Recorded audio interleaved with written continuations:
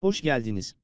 Uydu alıcımıza flash bellek yardımıyla hızlı yazılım yükleme işlemi yapacağız. Yazılımı flash belleğin içine klasör olmadan direkt kopyalayınız. Aynı burada olduğu gibi. Flash bellek FAT32 sistemi olması gerekiyor.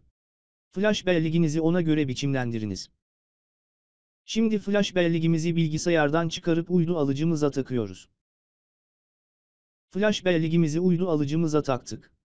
Hem RS232 kablomuzu hem de flash belleği beraber kullanarak hızlı bir şekilde yazılım yükleme işlemi yapacağız.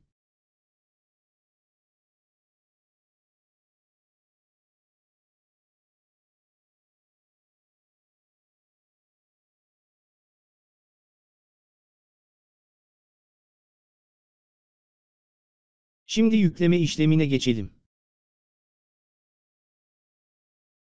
Yükleme işlemi için yazılımı çalıştırıyoruz.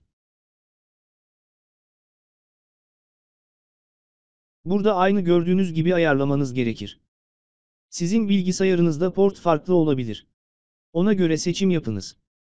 Burada flash belleğe kopyaladığımız yazılım ismini aynen yazınız. Start verip başlatıyoruz. Burada komutu RS232 ile veriyoruz.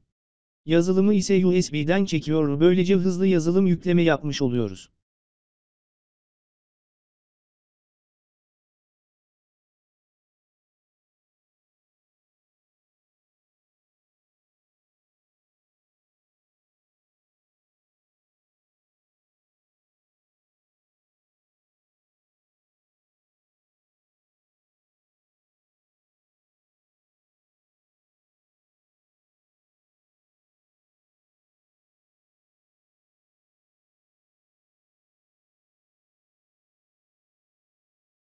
İşte çok kısa sürede yazılım yükleme işlemi bitti.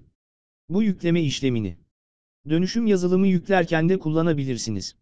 Normal kurtarma işlemi yaparken de kullanabilirsiniz.